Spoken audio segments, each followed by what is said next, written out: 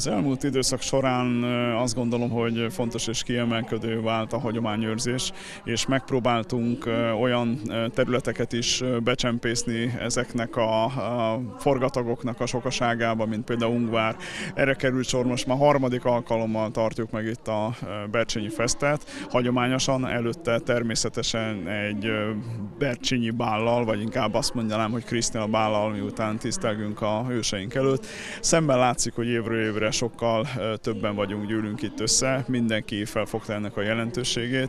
Én azt látom a mai napon, ami csodálatos időjárást adott nekünk a, a Jóisten. Én azt szeretném, hogyha minél többen lennénk a következő alkalommal, és szemben látszik, hogy az emberek élvezik, élvezik, hogy ápolhatják a hagyományokat. Van itt a, mindenfajta népviseletök kezdve, kézművések, kik korhű öltözetekbe vonulnak föl, és hát szerintem az egy fantasztikus dolog, hogy itt Tungváron, a, abba a várba tudunk egy ilyen Bercsényi Festet megtartani, ami a Bercsényi korszak volt rá. Leginkább a jellemző, akkor volt a leggazdagabb fejlesztések, akkor történtek a várba, úgyhogy szerintem a két Bercsényi gróf és Csáki grófnő fantasztikusat alkotott a maga idejébe, amit mi megpróbálunk egy picit visszaidézni, visszahozni annak a kornak a szellemét, és én azt gondolom, hogy ez talán sikerül is.